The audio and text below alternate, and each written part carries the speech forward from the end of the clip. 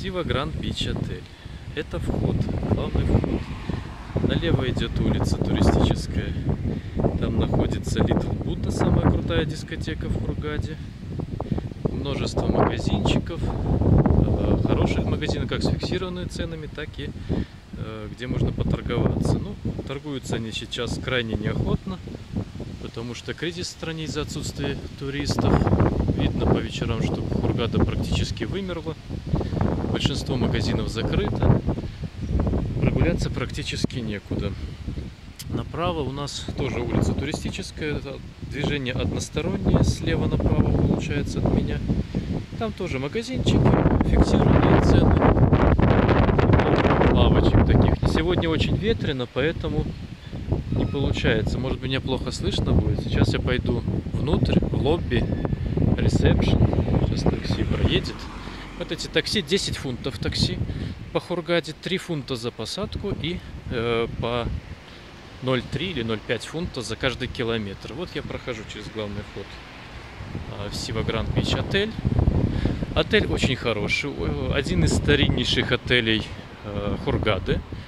Э, построен для немцев. До кризиса русских, русскоговорящих здесь даже не видели и не знали, кто это такие.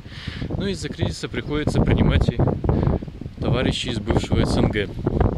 Что для немцев, конечно же, является шоком. Потому что некоторые русскоговорящие люди. Так, направо у нас ресторанчик, внутренний дворик. А, налево тоже дворик, там проход бунгало. Охрана хорошая, серьезная. Могу сразу сказать, что владелец этого отеля египтянин, как мы узнали из разговоров с местными. А, он имеет партнерские связи в Германии, поэтому, соответственно, из Германии пожилых людей сюда и привозят. Отель для пожилых людей. Очень спокойный, тихий, очень ухоженный. Охрана серьезная. Немецкая пунктуальность, немецкая педантичность. К русским мы находимся внутри, к русским отношение достаточно неоднозначное. Есть официанты, которые относятся хорошо, улыбаются, а, вежливые, обходительные, но есть такие, которые ориентированы исключительно на немецких посетителей, немецких жителей. Так, это второй этаж. Я нахожусь в лобби. Поэтому, соответственно, не обижайтесь, если кто-то пройдет мимо, они просто не знают русского языка. А, я нахожусь в лобби в центре. Здесь бесплатный Wi-Fi вечерами, целые, целые сутки. А, с утра можно посидеть после завтрака, вечером. Налево у нас магазинчики. Достаточно дорогие, ну при отелях все магазины дорогие. Дальше здесь у нас ресепшн. Там ресепшн, дальше я не пойду уже. Ну, возле ресепшена проход уже к номерам, в левое крыло. Дальше там есть правое крыло. Здесь подъем на второй этаж. Э, там э, напитки могут быть как платные, так и бесплатные. Можно заказывать. Очень назойливо предлагают платные коктейли по вечерам. Когда они э, притворяются, что есть один тут официант, который на грипп его, похож на обезьяну. Он притворяется глухонемым и назойливо сует Э, карту с платными напитками, коктейлями. Если человек машинально сказал «да», ну, значит, попал на деньги. Магазинчики с сувенирами. Я иду сейчас к направлению к столовой. Э, здесь э, только обеды и ужины. О, нет, обманываю, завтраки и ужины. Здесь бар платный. Здесь сцена. Сцена каждый вечер в 21.00. Здесь какое-нибудь представление, шоу. Столовая, налево туалет. В столовой завтраки и ужины, повторюсь. Э, вечером дресс-код. Э, желательно, чтобы шорты, брюки прикрывали колени. Нас один раз не пустили, но достаточно лояльно относятся. Столовая достаточно большая, как всегда, шведский стол. Можно э, позавтракать или поужинать на террасе. Налево выход на улицу, там двери. А, питание разнообразное. Э, ягнятина, телятина, а, курятина, кальмары и прочее. То есть э, голодным отсюда не уйдешь. Пойдем дальше. Я провожу обзорную экскурсию по всему отелю. Сколько смогу, столько покажу, поэтому будет долго. Предупреждаю сразу. Сейчас мы выйдем. Здесь э, есть выход, опять же, в ресторанчик, столовую. Очень много здесь перекусочных, закусочных. А на пляже, куда мы дойдем, тоже очень много разных. Так, там все. В принципе, все просто достаточно. За один-два дня мы изучили всю территорию. Территория не очень большая. Все компактненько, все очень аккуратно, вылизано, вычищено. А, Сразу могу сказать, для любителей шумных пьяных застолий а, лучше сюда не ехать.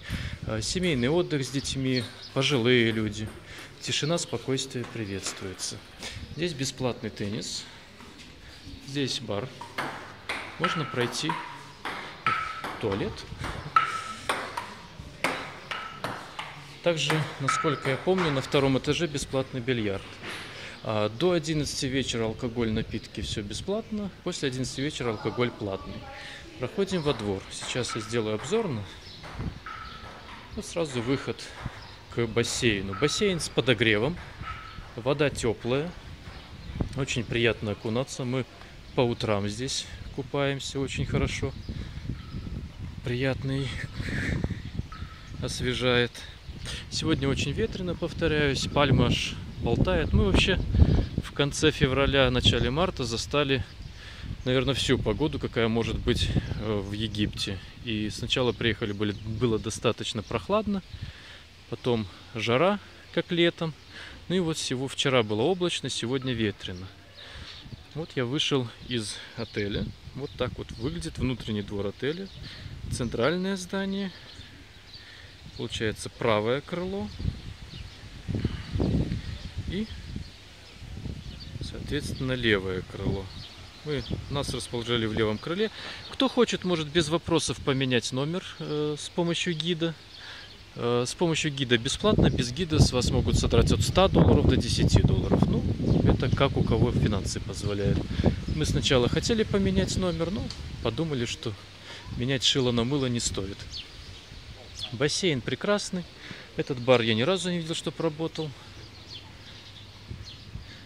Здесь тоже можно. Здесь как можно отдохнуть возле бассейна. Ну, в принципе, все стандартненько.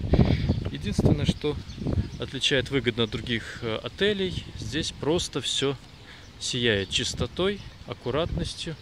Ну, немцы люди капризные, поэтому, соответственно, для них все и стараются. Подавляющее большинство обслуживающего персонала очень вежливые, веселые. Ну, в принципе, как и везде. Если ты улыбнешься человеку, то и человек улыбнется тебе.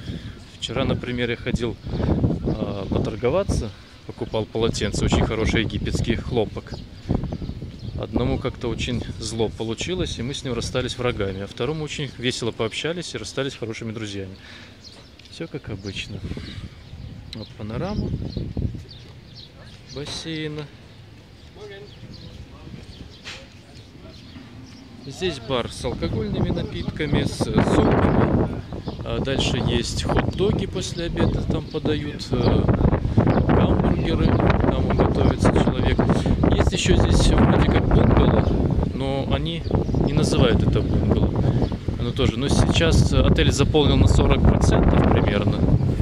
Поэтому, а, поэтому в бунгало никто не живет. Вот здесь вот столовая э, обеденная по заказу. Боюсь, из-за ветра плохо слышно все будет. Неудачный я день выбрал для видео, наверняка. Здесь заказывать платно эту столовую можно. Здесь пицца в течение дня. Бесплатные перекусы, пицца, напитки. Э, Официанты ходят по пляжу, раздают, разносят, предлагают напитки, пиццу. Если вы говорите по-немецки, вам большой-большой плюс будет, потому что, повторяюсь, третий раз уже, э, подавляющее большинство официантов говорят по-немецки. По-русски очень мало говорит людей. Мы не обижаемся. Нас игнорируют. Они не привыкли к русским просто. Есть здесь э, три человека лишних русских, которые пьяными выкриками даже нас смущают ко всему привыкших. Они здесь явно лишние. То есть люди, которые любят э, громко повеселиться, ну, лучше едьте, выбирайте другие отели. Здесь для отдыха спокойного, семейного. Выход на пляж. Пляж небольшой. Так, я рукой закрыл, молодец. Вот это вот наша столовая обеденная. Здесь обеды. А, обед э, тоже дресс-код, только не в плавках, не в купальниках. Шорты, майки без вопросов. Вот вход в столовую, она сейчас закрыта. Вот здесь даже знаки есть. А, swimming suits запрещено. Я думаю, что здесь закрыто. Хорошо, мы пойдем там со стороны пляжа еще покажу внутренности столовой.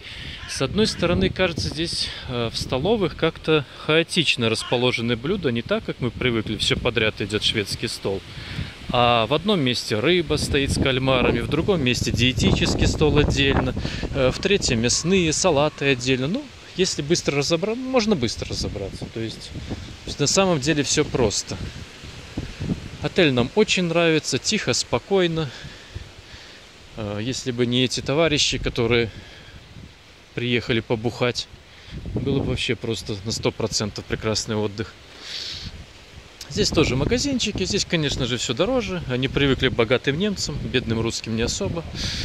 Поэтому, поэтому лучше ходить по улице, где-то торговаться. Ну, можно найти подешевле в фиксированных ценах в магазинах, можно найти подешевле там, где поторговаться. Так, пляж здесь. Обмывать ноги душ. Сейчас сделаю небольшую панорамку. Э, сама территория пляжа вглубь как бы хорошая. Моря тоже достаточно. Сейчас выйдем там покажу.